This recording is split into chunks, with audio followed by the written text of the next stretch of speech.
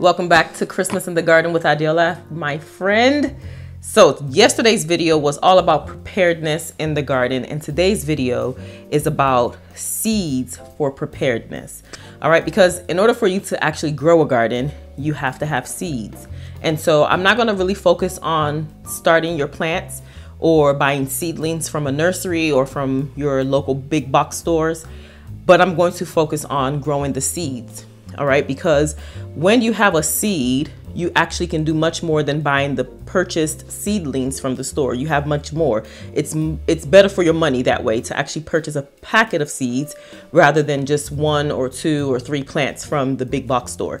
So today we're going to look at seeds for preparedness, how you should prepare with these seeds, where you should get your seeds from, how many seeds you need to have, what you should do with your seeds if they say it's actually expired or um, how to plant the seeds. We're not going to really focus on how you actually are going to plant your seeds. Those are coming up in other videos, but we are going to talk about what you are to do with the seeds when you do get the seeds and how you should prepare yourself to have a successful garden in 2022. Before we begin, I want you to first of all understand exactly what is a seed. A seed is an embryonic plant, all right? It's an embryonic plant that simply wants to grow if you give a seed the right conditions, and sometimes not even the best conditions, it will grow. So if you give the seed the right conditions, and sometimes not even the best conditions, it's going to grow because that is the nature of what it is. Everything that that seed needs in order to become its full potential, its full intended self, is found within that seed. The only thing that needs to happen is that it needs to be planted into the proper medium, into the proper soil, and then it's going to do what it needs to do. Give it the right conditions as best as the right conditions as you can give it, and it's going to grow for you. So that is what a seed is. Now there are many different types of seeds. And so you may see some of my seed boxes here where I keep my seeds. I have many of them. I have ones for sprouts. I have one for microgreens. I have flowers. I have the tomatoes and peppers and squash and herbs. All of those types of seeds packaged properly because you also need to store them properly for longevity so that you're able to grow from them season after season.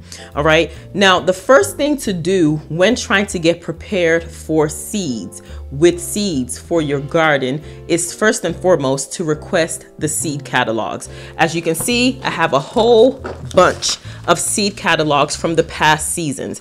These seed catalogs are simply just that. They are not the seeds, they are the seed catalogs in which you're going to look through these catalogs and order your seeds. Now, you may become overwhelmed when you get a seed catalog because there are a lot of seeds. What I always tell people to do first and foremost is before you open up the seed catalog, write down the foods that you desire to grow.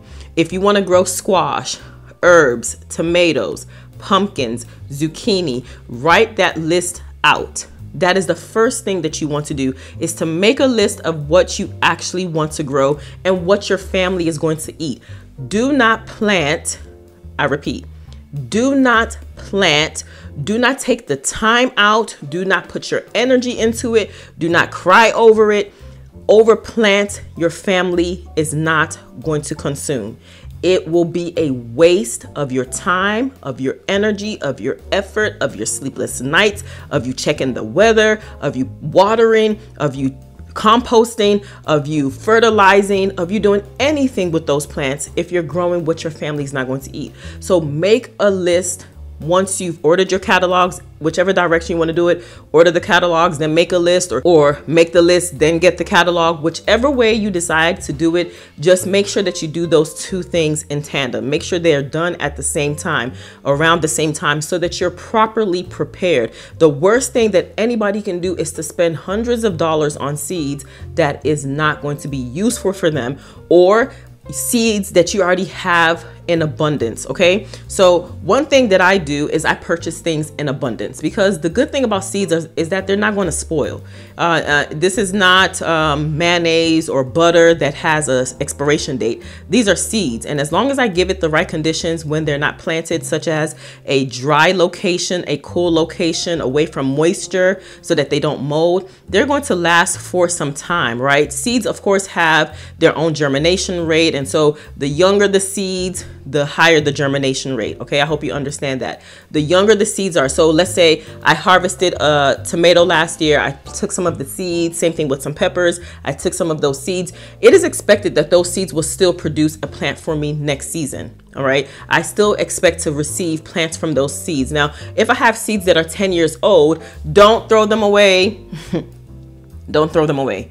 Do not do not throw them away. Keep them and more than likely some of them will still germinate all right because that's the nature of a seed. A seed just wants to grow. It wants to do its thing. It wants to flourish. It wants to show you who it is and what it is and what it's actually meant to do. So you don't want to throw them away. Yes a 10 year old seed may not be as viable as a two year old seed. However it's still expected to produce as long as you have kept it in a location that it will be able to be preserved inside of okay? So once you get your seed catalog I want you to actually go through the seed catalog. And one beautiful thing about these seed catalogs is that a lot of them have pictures all right? Most of them have really nice pictures that the company has taken and then they they actually put them in categories so that you're able to shop for what you want. Like the first thing that I'm looking at here in this uh Sow True Seeds, and all these seed catalogs, these companies that I've ordered these catalogs from, I'm going to leave them down below so that you can do the same thing, so that you can actually request their catalogs. This is the time to request the catalogs. This is the time to actually even start placing your orders for seeds because by January, February, they would have already been taken. The ones that you probably want to grow, the varieties that you want to grow, they more than likely will be out of stock because people are already planning for their 2022 spring and summer gardens. All right, so the first first page that I'm looking at are mushrooms. Now, if you don't like mushrooms, you have no interest in growing mushrooms, then you can skip over it, right? Just go to the lo next location and then the next page shows asparagus. So I can look at the asparagus, the, the varieties that they grow, and then I'll pick the one that I want to do. So if you watched last video, and if you haven't, after this video, please watch it. I mentioned that you want to actually know the types of plants that you want to grow based on what your family wants, but what you also want to know when it comes to seeds are that there are different varieties of seeds. For instance, the most common type of tomato that you're going to find in the store is probably something like a Roma tomato or or, or a beefsteak if your grocery store carries those type of tomatoes, right? You have you're gonna have a paste tomato, which is a Roma tomato, and then this slicer tomato, which is a beefsteak tomato. Tomato, it has more water inside of it, and then the peppers that you're commonly gonna see will be a bell pepper, right? Which is not spicy. Uh, some of them may be called sweet bell peppers, okay? Or you will see a habanero pepper, which is a spicy pepper. You're not going to find poinsettia peppers. You're not going to find long cayenne peppers typically you're not going to find that in the grocery store. You're not going to find an amish paste tomato. You're not going to find a hungarian wax pepper. You're not going to find a, a true beefsteak tomato. You're not going to find a kellogg's breakfast tomato or an abe lincoln tomato or a trophy tomato. There are a plethora of tomatoes and peppers and zucchinis and asparagus and beans. Your job is to actually get your notebook sit down, go through this, grab your pen, okay? Always have your pen. So i'm on the page for bush beans and i can see that they have blue lake 274 which is a very common type of pole bean and they have cherokee wax which is very beautiful in color, but it cooks green. It turn is it grows purple, but then it, it cooks green. And then they have a Max Bell haricot vert and provider, Romano, Royal Burgundy, tender green. These are the types of bush beans that they have. All right, these are the types of bush beans that you can expect to purchase from this company. Now, if you know that you like the taste of a Blue Lake 274 over the Cherokee wax, then just get that. Right. So if you know that that's what you want to get, then circle it. All right. If you're like me, I write in these these catalogs they're meant to order from. So you circle it or get a sticky pad, a sticky note, and put a sticky pad here on the page or fold the page over so that you can remember what it is that you want to purchase and then keep going through the book. If you know that your family wants to eat drying beans and you want to purchase the seeds for the drying beans. So on this page, I'm looking at the different varieties of the drying beans, or I call them shelling beans that you're going to purchase from them. So for instance, I've grown black turtle drying beans and I know that we like it. So I will circle it and purchase it. Okay, so you'll do that throughout the whole book or whichever company's book that you're going through and look for what it is that you want to grow. Again, don't purchase anything Nothing that your family is not going to eat. It doesn't make any sense for you to have to do that. You're just going to be wasting money and you're going to be wasting your efforts and your resources if you even grow those type of things. All right, so evaluate the seeds that you already have. If you're like me and you have a plethora of seeds, evaluate the ones that you have and then also take inventory on the ones that you want to have, that you want to grow, and, and also grow what your family wants to eat. If you are adventurous like myself, maybe once a season or in the season, try one or two different new types of plants to see if you're actually going to like it so that you can grow it in abundance next year. For instance, I grew a tomato called Big Mama tomato last year. It's a paste type of tomato. I loved it. For the types of dishes that we eat in my home, it was very essential and very uh, it was a huge staple in our diet. So I needed to grow it. And this year I grew a lot of them, too many. Also, I know that we use hot peppers a lot. Last year, I think I only grew 18 hot pepper plants. This year, I grew about 80. So you can see the difference. And uh, it, it was a lot of work. it was a lot of work to start those seeds. And I've started all of those except one from seed.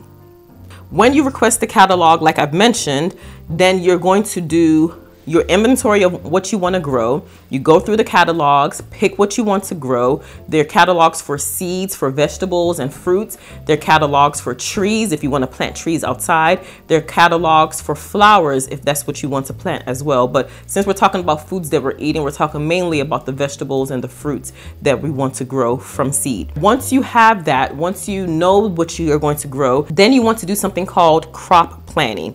And what is crop planning? It can be as simple as this. I'm a big time paper girl. I love to write things down because it just makes it a lot easier for me. And I have this mentality that sometimes uh, technology can go out if, if we're not careful. And so I don't really like to rely on technology. I've actually even tried to use technology. I've tried to use the crop planning tools online, but I just much prefer to write things out as you can see. And I will show you some close-ups of this, of how I write things out, list the things that I'm growing for 2021. So since this was the 2021 inventory, I did a crop planning of everything that I will grow. So on this first page, I have herbs and medicinal herbs that I grew. And I have on the next page, the brassicas and the lettuces that I wanted to grow and that I did grow. I have a list of the tomatoes. So on this page here are all the tomatoes that I grew. On the next page, I have peppers. And then on this next page, I have large crops, which included the squash and the cucumbers that I grew, the different types of squash, which include uh, the, the early summer crookneck squash and eggplant and okra plants and, and, and gourds, which is loofah. If you know loofah, I grew the loofah not to eat, but for the actual sponge to be able to use the sponge uh, in the bathroom. Uh, and I also grew, grew some fruit plants. And so I did that was my initial thing when I was going through my inventory of the seeds that I have. I went through what I actually wanted to grow. And because I grew last year, I knew what it was that I wanted to grow. And I also knew the amount that I wanted to grow. And so when you're ordering your seeds, you want to make sure that you're purchasing the amount of seeds that you're going to need. And this is one of the reasons why I prefer to grow plants from seed as opposed to buying it as a seed start because I can buy a pack of seeds for $3, let's say from Sow True Seeds or from Johnny Seeds, four or $5 from Johnny Seeds.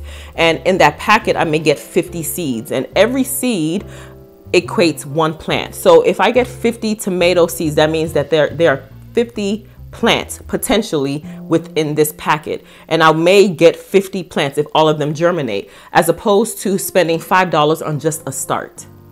All right, so if you're just buying just a start from the nursery, from the local nursery, then you're spending $5 for just one plant. Now, there's nothing wrong with buying a started plant. If that is what you want to do, there's absolutely nothing wrong. The goal here is to just grow a, a garden, grow food for your family, okay? But if you're looking to save money, if you're looking to be as frugal as possible while gaining the abundance that the earth can give you, you want to actually purchase the seeds and know how many of those plants you're going to grow. Like like I mentioned, I knew that I was going to grow a lot of hot peppers because that is something in our home. Tomatoes and hot peppers are a must. You must, must have them in every dish, our staple dishes that we cook. every single week we use tomatoes and we use hot peppers and so I knew that I wanted to grow a, an abundance of them so as opposed to growing just 18 plants like I did last year this year I chose to grow almost 80 plants about 78 plants pepper plants for the season and boy did they produce because I need them and so what that is going to help me do is not have to purchase these peppers from the store right? If you go to the grocery store, you can see how much bell peppers are. Bell peppers right now where I am is about $3 per pound, some $5 a pound. And if you're buying these big chunky bell peppers, a pound may just be two peppers, three peppers, and you're spending $5 on something that you could have grown from seed when you just plant it into, into the ground and you can get a plant that's probably worth 10 cents because of the packet that you've purchased it from. All right, so once you have that information, once you know the seeds that you're going to that you're going to plant once you have already done your list of seeds that you're purchasing from the the store then you're going to do a garden layout. It is essential imperative to know where you're going to plant your crops. And so on this page which I will also show you a close-up of I have a garden layout, all right, a scheme of how my garden beds look. This year I expanded my garden. Next year we are going to expand it even more. I had eight garden beds and I had an ingrown or in-ground rather pepper plant bed. And so I also have a plethora of containers. So I grew in abundance and I had to map them out. I needed to know where things were because if you start these plants from scratch or you buy them from the nursery and you don't know where they're going to go in your garden, you're just going to waste it. Or if you put them where they're not going to thrive, okay, they're not going to yield their increase. So you want to map it out. You want to map out exactly where each plant is going to go. You have to take that meticulous note. You need to take it and know where those seeds are going to be planted, especially if you're planting seeds directly in the ground like carrots, okay, like radishes, like turnips and beets and kohlrabi. These are seeds that you don't really want to plant from start because their, their roots don't like to be disturbed. They want to be directly in the soil and that is where they're going to grow so that you can eventually yield and harvest them from that location. So you must know, like when I planted my carrots this year, I needed to know exactly where those carrots would go so that I don't have to disturb them. Same thing with onions. I had a complete bed and a half of onions and I and I needed to know that right from the start, right? You don't want to put onions also uh, because they're growing from seeds. You don't want to put them in a place where, let's say, they will be covered by a tall tomato plant if the sun is is in in a specific location. You want them to actually have the most amount of sun in that specific location. So that is the reason why you want to crop plan. Crop planning is very essential when it comes to knowing exactly where you're going to put these seeds once you get them. Also, purchase seeds for yield and production. It's wonderful to grow these funky varieties, these new varieties, um, because you see them. So it's wonderful to grow purple green beans.